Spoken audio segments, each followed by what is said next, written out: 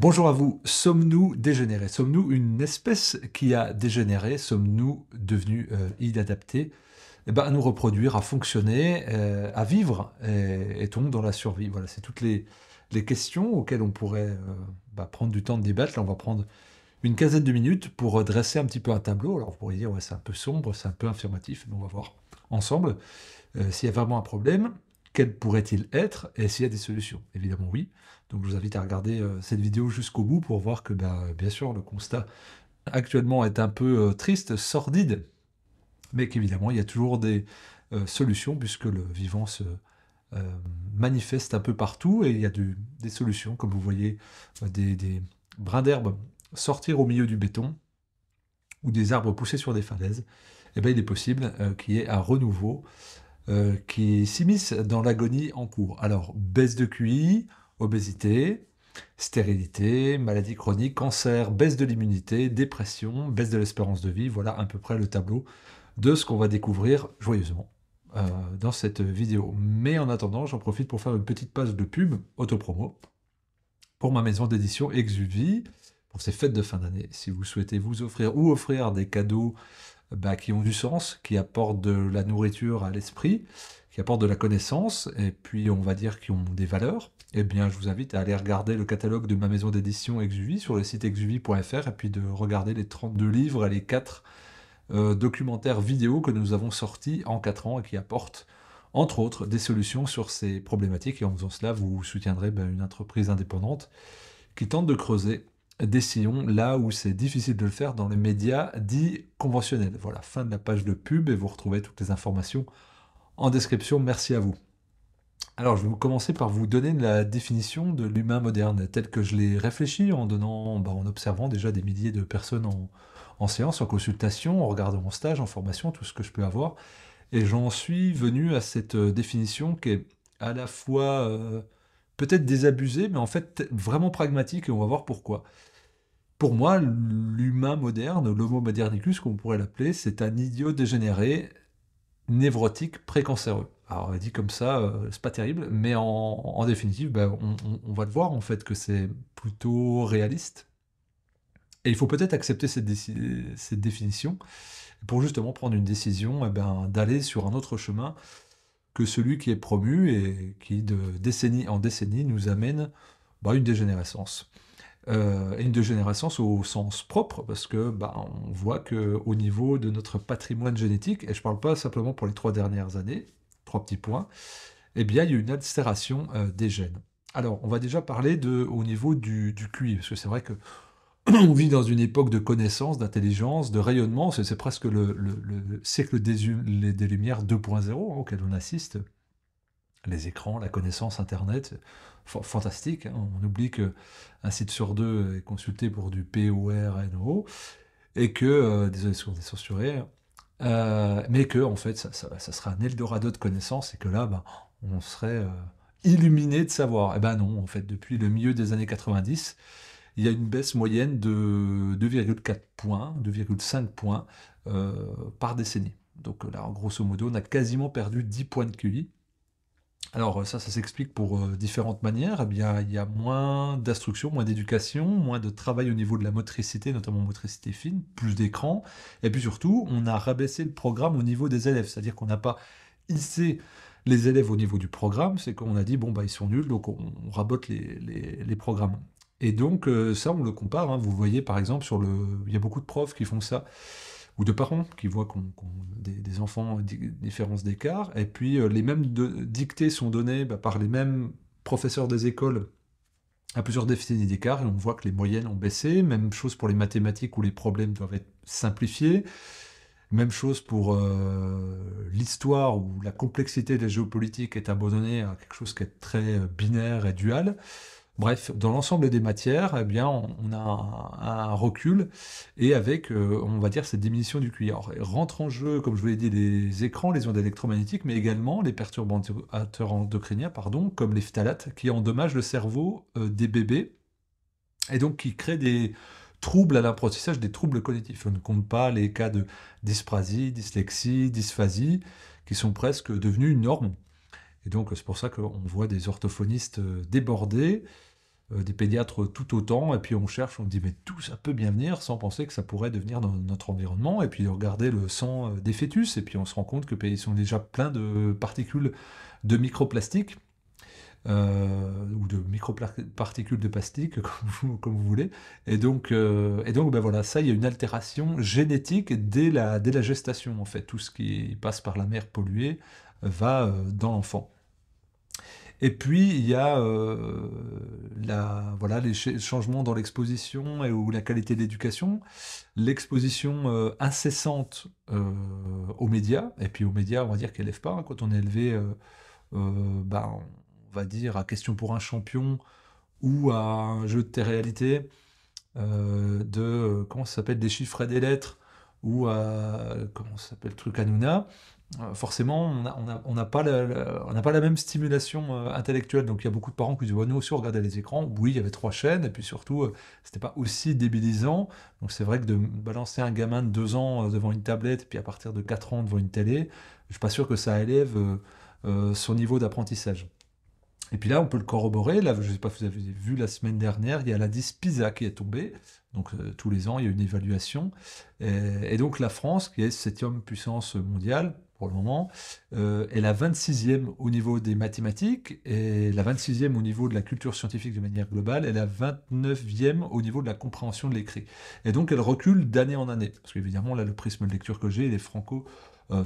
Donc on, se rend compte que l'école publique est un peu une poubelle, hein, que les 50 milliards, euh, euh, on va dire, de, financement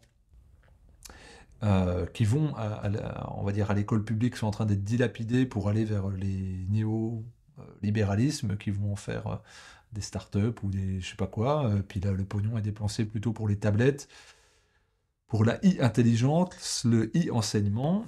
Euh, et, pas tellement pour euh, chauffer des classes ou faire des classes moins chargées ou faire des classes de niveau avec des professeurs adaptés bah, pour monter le niveau des élèves et non pas euh, bah, dire bah voilà il y a ceux du fond là qui sont pas terribles on, va, on va baisser pour que tout le monde soit bon au lieu de l'équité républicaine. Et donc et puis les écoles les écoles privées où tout le monde se rapporte enfin tout le monde tous les gens qui essayent d'aller vers autre chose. Quand je parlais d'écoles privées par exemple notre cher monsieur Attal euh, ministre de l'Éducation nationale a été dans les écoles privées et M. Ndiaye, juste avant lui, a tous ses enfants dans le privé. Donc c'est assez intéressant de voir que les ministres de l'Éducation nationale successifs, ben, en fait, soit mettent leurs enfants dans les écoles, soit euh, privées, pardon, soit vont, euh, sont eux-mêmes issus des écoles privées. comme s'il y avait un énorme désaveu dans leur acte en disant bah, l'école publique c'est la poubelle de, de, la République, et puis si on veut quelque chose d'à peu près correct, même s'il y a des classes surchargées, ben, on va mettre dans le privé, donc ça fait une éducation à deux vitesses, mais on va le voir, cette éducation à deux vitesses, elle renvoie vers presque un système de santé à deux vitesses, vers une alimentation à deux, à deux vitesses, où les plus pauvres euh, sont euh, bah, les plus sujets à l'obésité. Donc depuis le milieu des années 90, toujours, hein, comme pour la baisse de QI, bah, il y a eu une augmentation de 17% en 25 ans du nombre d'obèses euh, en France. Pas pardon. Nous en sommes à 17% d'obèses en France. Euh, voilà, dans la population euh, adulte et enfant, donc il y a 17% euh, de baisse, ce qui est énorme. C'était plus de 50% depuis, depuis 30 ans, le milieu des années 90.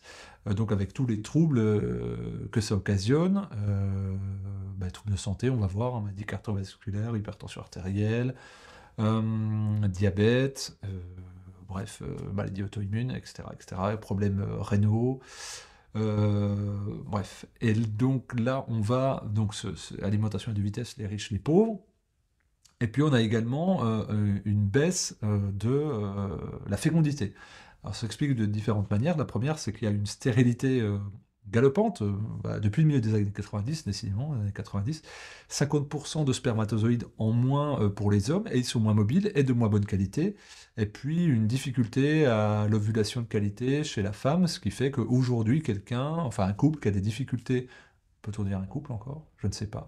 Un couple qui a des difficultés euh, de conception, bah, c'est normal, et puis d'essayer plusieurs centaines de fois d'avoir un enfant et d'échouer, c'est considéré euh, comme banal, normal, et on considère au bout de 6, 9 mois de tentatives, donc on va dire 4 jours d'ovulation par mois pour résumer, donc au bout d'une trentaine de tentatives où ça ne fonctionne pas, ben on dit peut-être qu'il y a des difficultés à la, procréation, peut-être.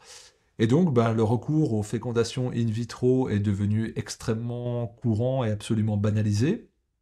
Et donc, on n'arrive plus à se reproduire. Il y a de plus en plus de fausses couches, euh, il y a des malformations euh, de plus en plus.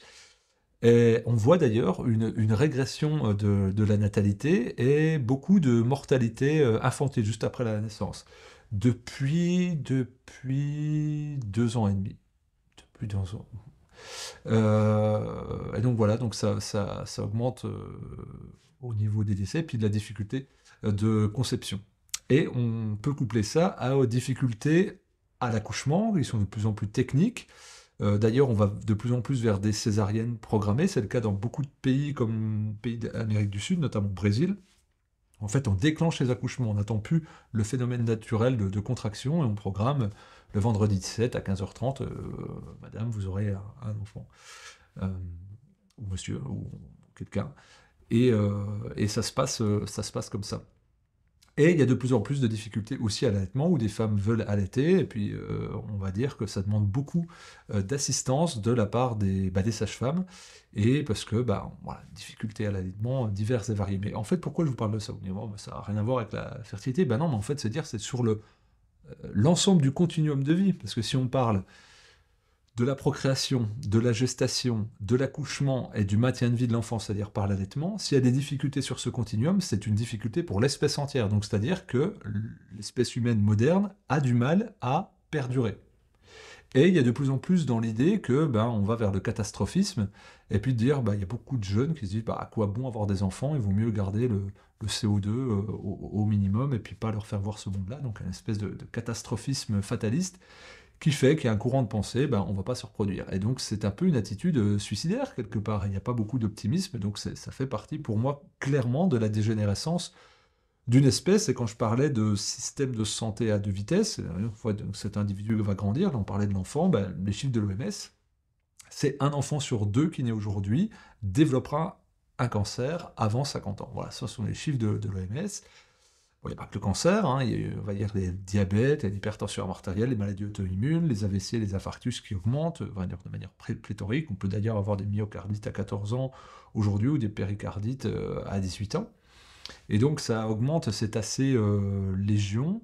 Beaucoup de troubles euh, organiques, recrudescence de dialyse, recrudescence de greffe d'organes. Donc il y a besoin d'appareiller, et je dirais même de mettre des béquilles médicamenteuses pour survivre. C'est-à-dire que l'espérance de vie se maintient ou augmente, mais l'espérance de vie en bonne santé diminue. Et c'est là où c'est euh, intéressant, c'est que euh, on diminué de, euh, là sur les dernières années, 0,7 ans d'espérance de, vie en moins sur les deux dernières années. Alors ça ne tient pas compte que des, que, morts, mais c'est un phénomène qu'on observe globalement. Les causes, on ne sait pas trop, et il faudrait chercher. Mais en tout cas, c'est ce qu'on voit. On voit, on voit vraiment une régression dans les pays de l'OCDE. Euh, donc, c'est un, vrai problème. L'individu fonctionne de moins en moins et doit être de plus en plus appareillé de manière médicamentale ou, euh, logistique bah, pour fonctionner. Et puis tout cela dans un cadre où la santé mentale et psychologique est atteinte. La France est le premier consommateur au monde d'antidépresseurs. 5% euh, des adultes sont officiellement diagnostiqués comme dépressifs, c'est énorme. Et puis, euh, bah, chacun traîne son spleen un peu où il le peut. Alors c'est vrai que les, mesures sanitaires n'ont pas arrangé tout cela, hein, que ça soit en termes de, santé euh, physique, avec une alimentation compulsive, moins d'activité physique, moins d'exposition grand air, plus de stress oxydatif, plus de malbouffe, moins de relations sociales épanouissantes, moins d'art moins de beau, moins de vie, en fait, euh, tout simplement, eh bien, tout ça euh, nous montre qu'il y a une dégradation euh, rapide.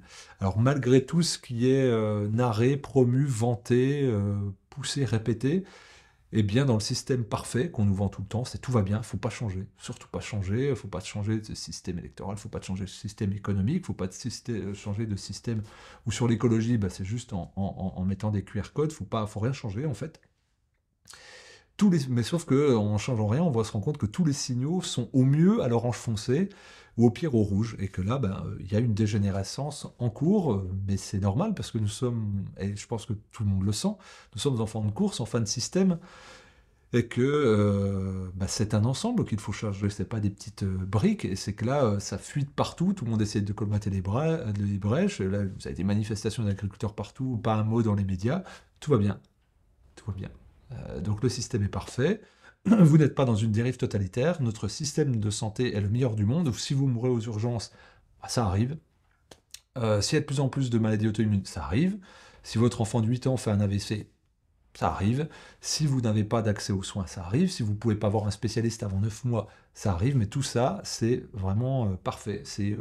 Tout fonctionne. Donc vous êtes un idiot dégénéré, névrotique, précancéreux, et c'est parfait. vous êtes un individu lambda, et vous pouvez être heureux. Euh, donc là, bah, c'est juste le, dernier râle d'agonie d'une bête extrêmement malade. Peut-être qu'il faudrait l'aider à, l'achever, à, ce point de souffrance-là. Et donc, bah, la solution, c'est quoi? C'est le changement. Et comment le monde va changer? Bah, On va pas attendre des sauveurs, des héros, ou, un nouveau système ou une nouvelle doctrine. C'est dans son quotidien changer euh, soi-même, observer que, ben, oui, il faut que je sois plus attentif au fait de me cultiver, à faire gaffe à ce qui rentre comme instruction et comme éducation dans la tête de mon enfant, son exposition d'écran, aux ondes, aux médias, euh, de quoi il va être nourri euh, intellectuellement, cérébralement, tout autant que son système digestif. Euh, s'il y a une liste d'additifs alimentaires longue pour le bras, sur des choses qui sont faciles à cuisiner, pas chères, mais qui sont fluo et puis qui peuvent se conserver 5 ans, peut-être qu'il y a un problème. Peut-être que ce fumet ou ce, comment ça s'appelle le glyphosate qu'on me dit non non il est dangereux. Euh, alors l'homéopathie vous n'avez pas le droit, mais le glyphosate vous avez le droit. Peut-être se dire tiens je vais peut-être essayer d'avoir un esprit critique au-delà des lois. Peut-être peut-être qu'il y a des lobbies. Peut-être on peut se dire ça aussi, remettre des choses en question. Peut-être se dire qu'il y a euh, ce qui est introduit dans le corps de euh, la maman par les microplastiques, bah, peut-être que c'est source de, de, de, déficience, de malformation, que ça développe des troubles cancéreux. Peut-être qu'il y a des traitements médicamenteux expérimentaux qui ne sont peut-être pas adaptés. Euh, voilà, toutes, toutes ces choses-là qui font qu'un individu aujourd'hui eh bien, a du mal à se reproduire, a du mal à fonctionner de manière autonome, a du mal à se concentrer, a du mal à réfléchir, à devoir se mouvoir, a, du mal à structurer sa pensée et doit faire face au déni pour se protéger, pour ne pas rompre psychologiquement et qu'il doit continuer de creuser dans son coin sa névrose derrière un écran parce qu'il est, incapable de vie sociale. Et donc bah, c'est un peu le, tableau là, donc euh, euh, euh, nous devons changer bien sûr, rester en lien d'esprit les uns avec les autres et co-créer, ben, on va dire de manière locale et de manière un peu plus macrocosmique pour quelque chose qui est plus vertueux, qui a plus de sens, qui est plus en lien, en respect avec le, vivant, qui respecte les autres, qui ne les utilise pas avec leur corps ou avec leur fonction, et euh, voilà, pour quelque chose qui soit foncièrement euh, radieux. Évidemment, je fais une ellipse, pas pour faire ma promo, mais parce que c'est ce que je fais tous les jours, c'est d'essayer d'amener du sens avec ma maison d'édition Exuvie. Donc là, vous avez des vidéos gratuites, mais pour continuer à faire fonctionner une maison d'édition 100% indépendante sur des sujets en tension, eh bien, j'ai besoin de vous, clairement, pour essayer à ma façon d'essayer de, changer les choses. Donc euh, voilà, un soutien, il y a des livres à partir de 6,50€, des films à partir de 4,90€, je vous le répète allez regarder même le catalogue, même si vous achetez rien, regardez les sujets qui sont promus sur la philosophie, sur l'homéopathie, sur la santé intégrative, sur la naturopathie, sur la médecine intégrative, sur la respiration, sur l'alimentation, sur le jeûne, sur, on, va dire, le système démocratique, notamment avec les livres euh, de Simone Veil, réédition, euh, et euh, d'Ansel Belgarig, Bref, nourrissez votre esprit, méditez, réfléchissez, partagez avec les vôtres et surtout agissez dans la matière pour ne plus être cet idiot dégénéré, névrotique, cancéreux qui semble être, euh, on va dire, la caricature et l'archétype de notre monde moderne. Prenez soin de vous et à bientôt.